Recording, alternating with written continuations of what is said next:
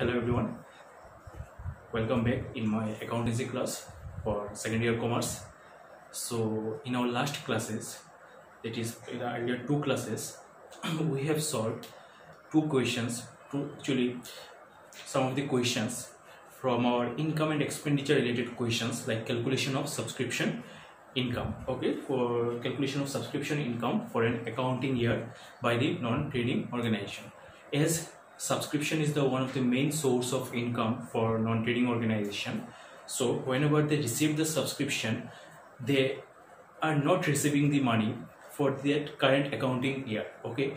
Because there are some members who are not paid the amount in previous year or some of the members that paid the amount in the current year for the future year okay? So as income and expenditure account is prepared under accrual basis of accounting accrual basis of accounting means the accounting uh, where um, all the expenses paid all the expenses paid or needs to be payment and all the incomes earned but not received okay so we have to take it into account okay? So as receipts and payment account is prepared under cash basis of accounting that means all the cash receipts and cash payments are recorded in receipts and payment account but in income and expenditure account all the cash payments made and the payments which are for the current accounting year. So and the incomes for which they have earned or incomes which they are, they have earned but not received also taken into income and expenditure account. Okay? So similarly we have calculated the calculation of subscription income for non-trading organization because in case of subscription that means subscription received during the year it is not the amount for the current accounting year. Okay? Because i have already told you that in in that amount there is inclusion of amount for the previous year and inclusion of amount for the future year. So we have to deduct both the amount and add some items in order to find the current uh, subscription income for current accounting here okay. So similarly as it is a income there are some payment for the non-trading organization um, like salary. Okay. So whenever they have paid salary that does not define that the salary paid amount is for fully for the current accounting year. It may include the amount which they have not paid in the previous year and there may be the pay, uh, payment of salary for future year. Okay so similarly we have to calculate the amount of salary paid by the non-trading organization during an accounting year. So in today's class our topic is calculation of salary paid by the non-trading organization during an accounting year. Okay and the calculation and the format for calculation is similar to the um, similar that we have done in subscription income calculation okay? So let's start our solution that is our first class on calculation of salary paid by the non-trading organization. And um, as i am telling you it is similar to the um, calculation of subscription income. So you have to memorize all the topics all the add items and all the less items that we have done in our um, subscription income.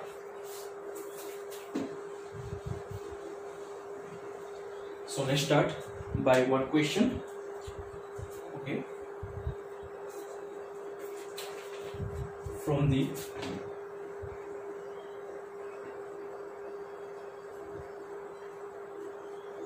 from the following details. From the following details calculate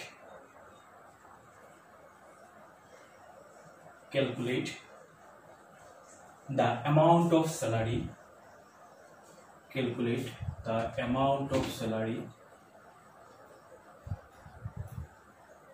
calculate the amount of salary which will be debited which will be debited. Why it is debited? Because income and expenditure account is like expenditure is in left side that is debit side and income is in credit side that is right side okay as salary is a payment for the non-trading organization so it will be in debit side. So we have to find the calculation of amount of salary which will be debited to income and expenditure account during an accounting year. Um, income and expenditure account debited to income and expenditure account. Income and expenditure account for the year ended for the year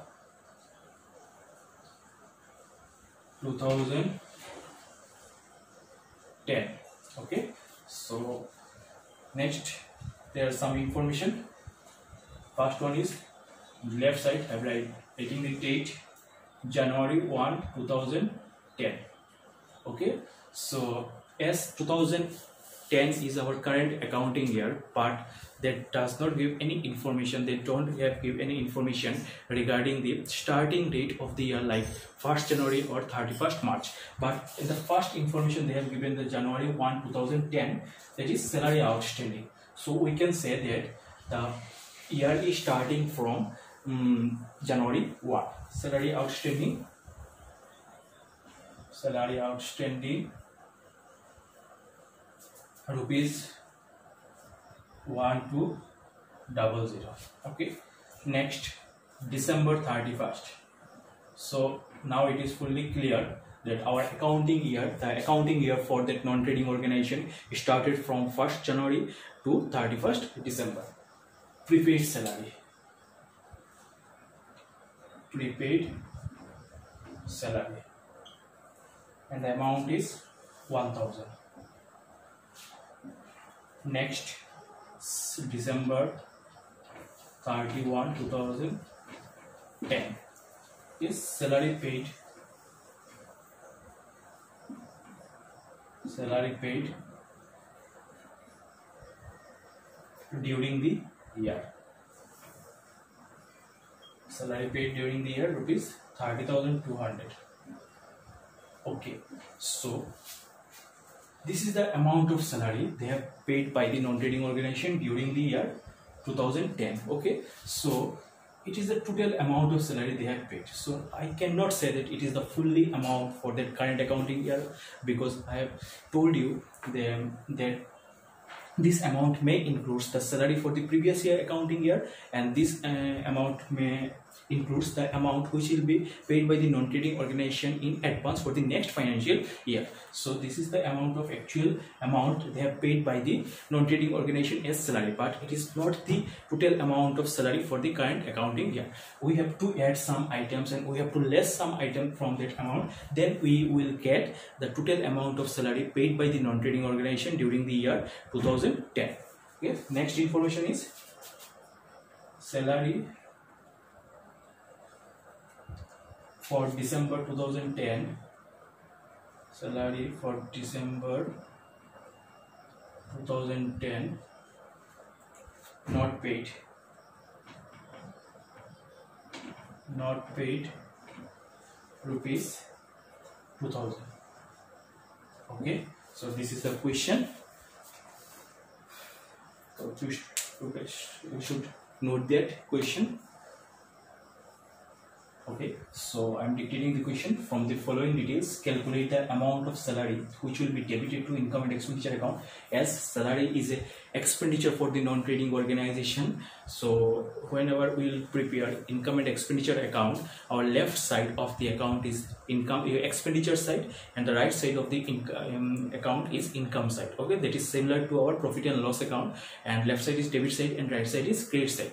As salary is a payment for the non-trading organization so it will be in the debit side of the non um, income and expenditure account. So they have given us um, some information from which we have to calculate the amount the actual amount of salary paid by the non-trading organization during the year 2010 which will be debited to income and expenditure account so what is the first information? January 1 2010 okay?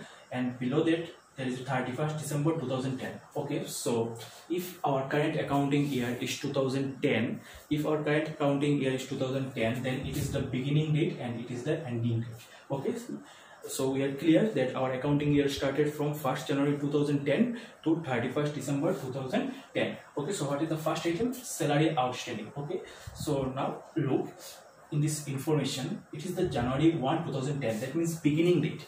At the beginning date they have outstanding salary rupees 1200 okay so now is it the amount of salary for the current accounting year? No. Because as it is outstanding on the beginning date okay as it is the outstanding amount in the beginning date we can say that it is also the outstanding on december 31 2009 okay? Because december 31 2009 is the ending date and after that day that is the january 1 2010 is the new accounting year for the next financial year okay? So if in the beginning there is an outstanding salary.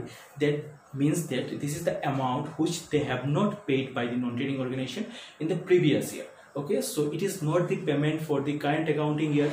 It is the amount of the payment for the um, previous accounting year. So we have to deduct this item because this amount of outstanding salary is in the beginning date. That does not means that it is the outstanding salary for the current accounting year. It is the outstanding salary for the previous accounting year. So we have to deduct that amount next December 31st 2010 prepaid salary okay so at the end of the year at the last date of the year they have paid advance. Okay so now you tell me that if I any if I pay any amount at the end of the year to any person as salary that means it is the salary for the next financial year okay? Because if I have to pay the amount as prepaid salary for the current accounting year then I will pay at the beginning of the year or either at the middle of the year. But I have paid that amount prepaid salary that means advance salary on 31st December 2010 that means after closing the current accounting year. So it is not the payment for the current accounting year it is the payment for the future accounting year. So we have to we have to do deduction from the total salary paid okay? Because it is the payment for the next financial year. Next is the total amount of salary paid during the year. In the previous question that is total uh, we need first item that is amount of subscription received by the non-trading organization. And in that question we need amount of salary paid by the non-trading organization during the current accounting year. So in that question we find they have paid total 30,200 and we have to less we have to deduct this both item okay and next one is the salary for december 2010 not paid rupees 2000 okay so salary for december 2010 okay so if our 2010 started in january okay then february then march april may june july august september october november december. That means 12 months. Okay so there is a information that salary for december 2010 not paid rupees 2000 that means before um, before December, that means up to November, they have paid full salary, and in December, they have not paid the December's salary. So, it is the payment for the current accounting year, but they have not paid. They will pay it in the next accounting year or after that accounting year, but it is the payment for 2010 because it is the payment related to December 2010 that means current accounting year okay? So they have to add that item because it is the payment for the current accounting year. So both this term will be deducted and the, this term will be added okay? Then we will find the total amount of salary payment for the um, total amount of salary expenses for the non-trading organization okay? So let's start our solution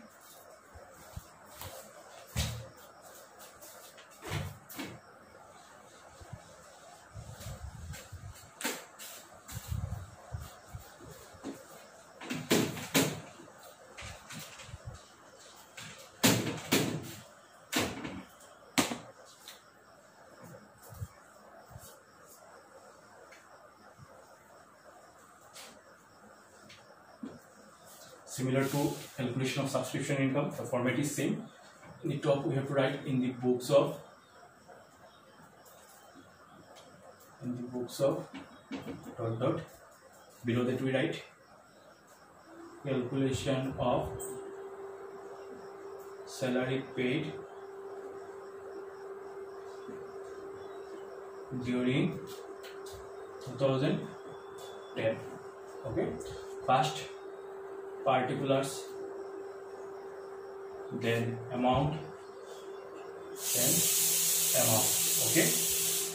So what we need first we first need to start our solution. The first we need the what is the maximum actual amount of payment by the non-trading organization as salary during the year. So in our third information we find salary paid during the year. So first we start by salary paid during the year salary paid during the year. The amount is 30200 it is in the final column. Okay. Next we add some items and then less. So what is the first item? The first item is salary outstanding as on 1 1 2010 so if our current accounting year is 2010 then its opening date is 1 1 2010 in our question that is given 1 1 2010 is the opening date and 31st december is the closing date. Okay? So salary outstanding on 1 1 2010 that means it is the outstanding amount not for the current accounting year. Okay? That means they have not paid certain amount in 2009 which is carried forward in 2010 so it is the expenses for the um, previous accounting year so it is not the expenses for the current accounting year so i have to less that item or i have to deduct that item. Salary outstanding. Salary outstanding as on 1 1 2010 because it is the beginning date. So in beginning date if any any amount is outstanding so it is not the outstanding for the current accounting year. It is the outstanding for the previous accounting year. So remember if any amount is outstanding at the beginning of the year it does not mean it is the outstanding for the current accounting year. It is the previous accounting year. And if any amount is outstanding at the end of the year it means that it is the outstanding amount for the current accounting year. So in the beginning we have to less and at the end we have to add next prepaid salary on 31st december 2010 so prepaid salary means advance salary. So the amount is paid on 31st december 2010 so at the end of the at the last date of the year 2010 so after 2010 um, mm, that means on 31st december the year 2010 is closed.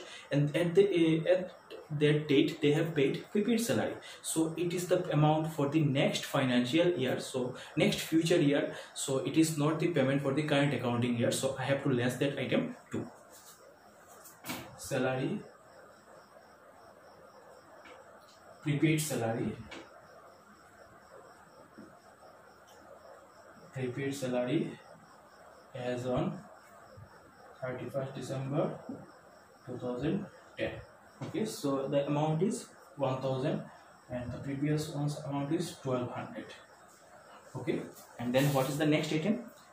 Next item is salary for december 2010 okay so current accounting year is to december uh, 2010 and it started on january 1 and closed on 31st December 2010 so up to November they have paid full salary. But in December they have not paid. So salary paid not for December 2010 amounted to rupees 2000 that means in December the total amount of salary for the non-trading organization is rupees 2000 which will not which have not paid by the non-trading organization. So it is the outstanding amount for the current accounting year. So we have to add that item. Salary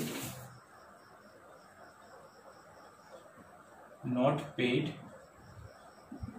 for December 2010 okay? So we have put up all the information for that question. Now we have to do calculation. So first one is added 2000 30 2200 then 2200 less. Amount is 30000 okay. So now I can say that the total amount of salary paid by the non-trading organization is amounted to rupees 30,000 so in income and expenditure account they will paid uh, they will put the total amount of salary paid by the non-trading organization is rupees 30,000 so against it we will write salary debited to income and expenditure account for the year 2010 okay? So this is the solution and it is a simple type question because same similar type of question we have solved for subscription income. So it's my i am giving you the advice that please find some question like this on your book and try to solve it okay? And if any query any confusion then you can call me or contact me. And in our next class we will start another question. So that is income and expenditure account as we have cleared the two important terms that is one is subscription and another is um, salary okay? Because most of the adjustment from income and expenditure account is related to either subscription or salary. So we have we have solved it separately so in our next class we will start our income and expenditure account okay? So till then stay safe and try to do some questions regarding this okay? So thank you